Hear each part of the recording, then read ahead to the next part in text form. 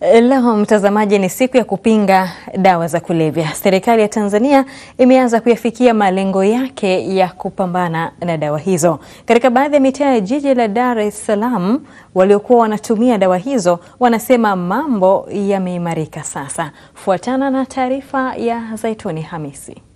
Siku ya kimataifa ya kupambana na dawa za kulevya ambayo naianzia Mwenge jijini Dar es Salaam, nikizungumza na vijana waathirika wa dawa za kulevya maarufu kama mateja. Nimetumia ndani ya miaka mitatu na nusu, yaani inanisaidia pale napokuwa na kunywa, ndo nakuwa naweza kuendesha maisha yangu, lakini naposema niweze kuiacha, maisha hawezi kuendelea tena.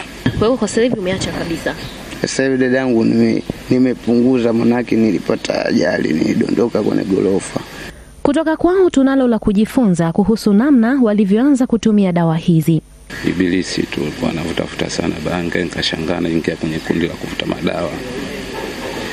Shangaa tu na sijielewi, naona ile ah, mbona wenzangu wanavuta, imekuwaje? Na mimi ngoja nionje, na nikajaribu kajaribu, eh, naona naona nikaingia kundini moja kwa moja. Nikapata rafiki ambao anajiweza kusema kweli, ambaye ndo alinichukua nikakaa naye, kumbe yeye akawa ndo mwasilika haya madude.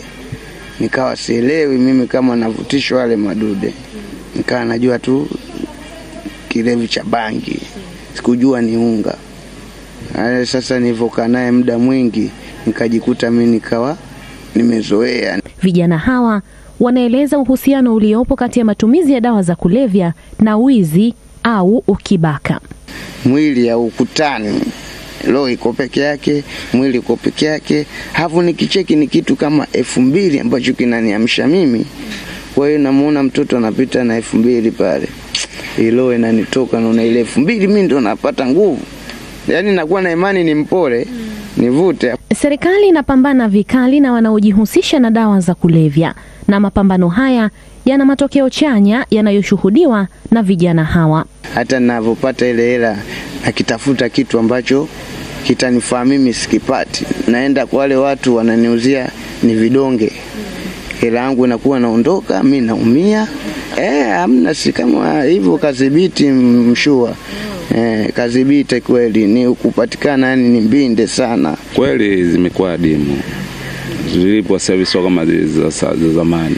Matumizi ya methadol, dawa maalumu ambayo hutumika kumwondoa mwathirika kwenye lindi hilo kwa muda mrefu, limetajwa kuwa changamoto. na nimetumia ndani ya miaka mitatu na nusu, yaani nanisaidia pale napokuwa na kunywa, ndo nakuwa naweza kuendesha maisha yangu, lakini naposema niweze kuiacha, maisha hawezi kuendelea tena. unaweza tukaenda kule misadoni, mkaambiwa njoo leo, unaweza ukaenda leo, unaambiwa njoo kesho, ukaenda kesho, ukaambiwa njoo kesho kutwa. Dkt. Sostes Hongo ambaye ni mkuu wa kitengo cha methadol katika hospitali ya Mwananyamala anafafanua. Vijana wamevuta unga kwa miaka 30. Huyu mtu anaanza kuvuta matumizi ya madawa akiwa na umri mdogo, maana yake sehemu zile nyeti zinahusika na masuala ya kufikiria, kuplani, kufanya maamuzi, eh, sehemu za kihisia, maana yake zinakuwa katika hali yasiyo ya kawaida. Kwa hiyo mpaka nafika miaka 20 kwamba ubongo wake unakomaa, unakomaa katika hali ambayo si ya kawaida. Sijui umeelewa? Kwa hiyo mtu wa namna hii, maana yake hata tiba yake, uponaji wake unakuwa ni, ni utibaji ambao unatakiwa utumie muda mrefu. Kwa yale wanayopitia warahibu hawa wa dawa za kulevya, wanatoa wito kwa vijana. mi mwenyewe ningeshirikiana na wao kupambana eh, yani kutokomeza kabisa ujinga kama huko, sababu mimi mwenyewe nilotumia naona, afu naona haina faida yoyote dada yangu, haina yani ni da.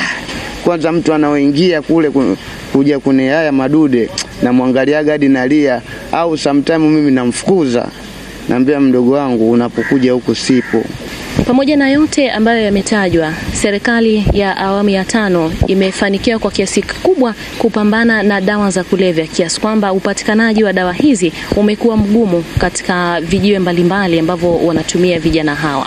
Kutoka Mwenge jijini Dar es Salaam, Zaitun Hamisi, TBC Ardhio.